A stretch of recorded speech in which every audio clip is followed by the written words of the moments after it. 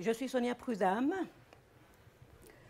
Je travaille à l'Université de Franche-Comté, euh, plus spécialement au Centre de linguistique appliquée de Besançon, qui est un centre de langue, enseignement de langue, pour des publics adultes en français langue étrangère et en langue vivante étrangère en général. Nous faisons de la formation continue et aussi de la formation initiale. Nous intervenons en formation initiale soit dans le cadre de notre service universitaire, euh, puisque nous sommes personnels de l'université, et toujours avec des publics l'INSAD, des publics euh, qui sont spécialistes d'autres disciplines, et que ce soit en IUT ou que ce soit en fac des sciences, etc. Et nous avons des accords avec des organismes de formation ou d'enseignement supérieur, comme par exemple l'École nationale supérieure euh, de micromécanique, qui est une, école qui forme des ingénieurs en micromécanique, qui est la spécialité à Besançon, c'est une spécialité de la région. Donc, euh, j'arrive, je fais une évaluation initiale et je constate que les étudiants ont le profil que vous voyez au tableau.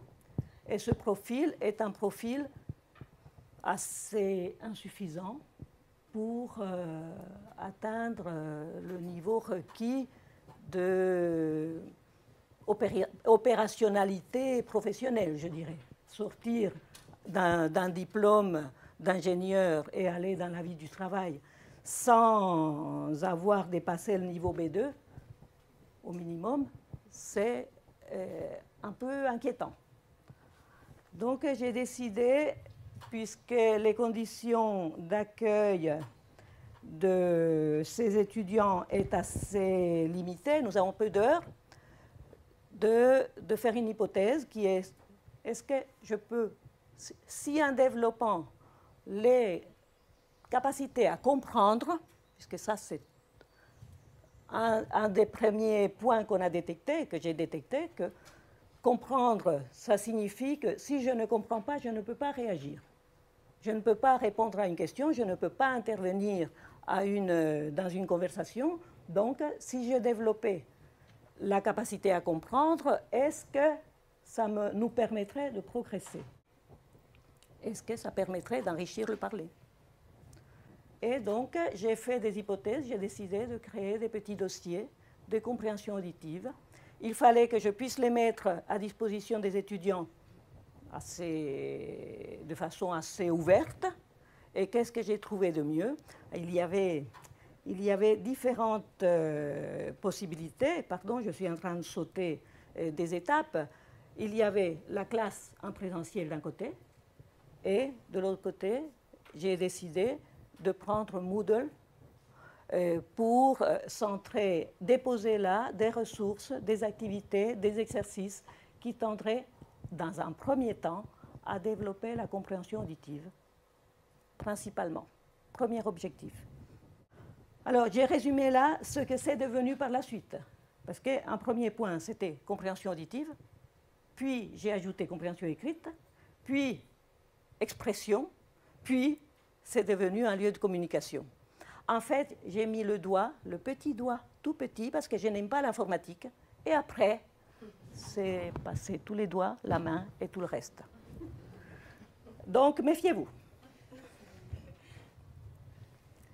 Donc, l'objectif était d'exposer les apprenants le plus possible hors de la classe. Une fois qu'ils dépassaient, sortaient de là, ils avaient l'obligation, parce qu'il fallait le bâton, ils avaient l'obligation d'aller faire un certain nombre d'activités sur Moodle.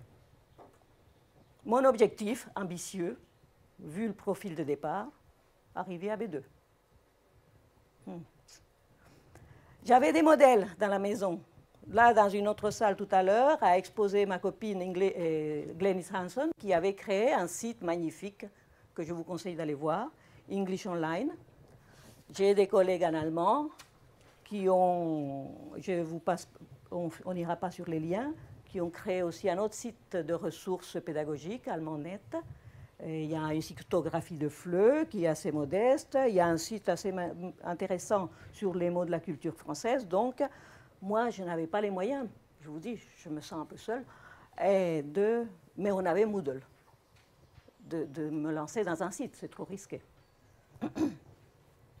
Donc il fallait créer des exercices et ensuite travailler sur les questions de terminologie, sur les tests ou les quiz Moodle, que moi j'appelle toujours questionnaire parce que j'ai pris la traduction espagnole qui dit questionnario. Je suis désolée, donc on a un petit problème de terminologie en ce moment, ce que j'ai entendu hier au sujet des questionnaires, des quiz, des tests et des, des sondages. Donc j'ai commencé par les tests Moodle et en faisant principalement de la compréhension auditive. Je passe les autres étapes, on reviendra dessus. Pédagogiquement, j'ai travaillé un peu plus d'un semestre uniquement sur les, tests Moodle, sur les quiz Moodle, dans ces différentes formes. Appariement, close, comme celui-ci, euh, QCM, etc. Et j'ai trouvé que pédagogiquement, ils sont vraiment très intéressants parce que en suivant le travail des étudiants, je pouvais voir où ils avaient fait une faute, pourquoi ils s'étaient trompés, pourquoi ils n'arrivaient pas. Je pouvais analyser l'erreur. Et l'analyse d'erreur faisait que je pouvais leur envoyer un message assez rapidement pour les mettre sur la bonne piste. Donc, ça, je prends un peu d'avance, ça a un avantage certain, ces tests-là, je les préconise dans ce sens-là, euh, pour la, justement pour l'analyse des erreurs ça a une fonction pédagogique importante. Là, je peux voir que c'est simplement une faute d'orthographe, par exemple. Où est la souris? Que Ça peut être une faute d'orthographe, où il a mis euh, une. Il a oublié un, mot grammatical important. Si c'était un passé composé, il a oublié l'auxiliaire ou des choses comme ça. Les tests Moodle vous permettent de faire, euh, vous avez déjà parlé tout à l'heure des, questions donc ça vous permet de faire des chaînes de questions dans un seul document, dans un seul test, que vous pouvez eh, proposer aux étudiants en, en, évaluation formative ou sommative. Si c'est un sommatif, vous pouvez mettre un chrono et définir le temps qu'il faut pour faire ça. Vous pouvez insérer de l'audio, du son, de la vidéo, de la, des images, ce que vous voulez et vous avez absolument toutes les possibilités euh, de, du multimédia. Donc c'est pourquoi j'ai appelé ma conférence un labo multimédia ouvert, différent du labo multimédia qu'on a dans nos établissements où on doit aller avec sa classe et quand on sort, on ferme la porte à clé. Puis je suis passée au Hot Potatoes. Pourquoi? Parce que j'étais fatiguée. Et hot potato, c'est facile. Quand on a fait du Moodle, hot potato, c'est un petit jeu d'enfant. Ta, ta, ta, on dit trou là, trou là, trou là, petit 1, et ça va tout seul. Donc, c'est très facile à réaliser, c'est très rapide à réaliser. On a plein de couleurs, un choix de couleurs extraordinaire. Attention, c'est piège, parce qu'après, il faut marier ça avec les couleurs de la plateforme et ça peut devenir très dangereux visuellement. Donc euh, voilà, alors pareil avec Hot Potato. Ah, en plus, Hot Potato, ça a un peu plus de possibilités que les questions avaient. Pardon, j'ai travaillé sur, sur Moodle 1.5, 1.6, maintenant 1.9, je ne sais pas.